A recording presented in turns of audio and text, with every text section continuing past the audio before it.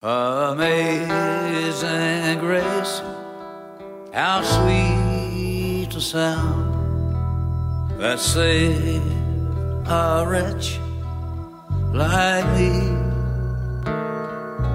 I once was lost, but now I found I was blind but now.